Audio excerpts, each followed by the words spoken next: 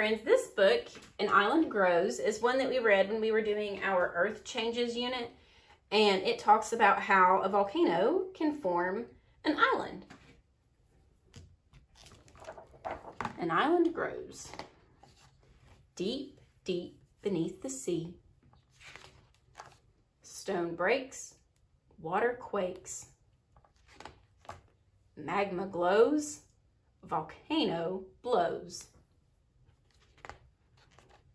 Lava flows and flows and flows. An island grows. Rocks appear black and sheer. Weather batters, rock shatters. Waves pound, sands mound. Wind sows seeds that blow. Roots grow, leaves show. Trees tower, vines flower, insects thrive, birds arrive. Sailors spot, maps plot. Ships dock, traders flock.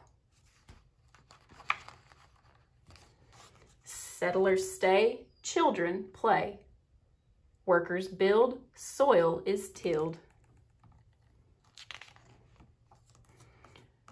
Markets sell, merchants yell, fresh fish, pepper dish, ripe fruit, spicy root.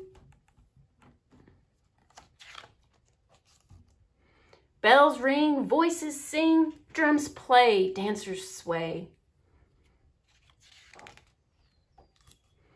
Busy island in the sea, where only water used to be. Then one day, not far away, deep beneath the sea, a volcano blows and lava flows, another island grows.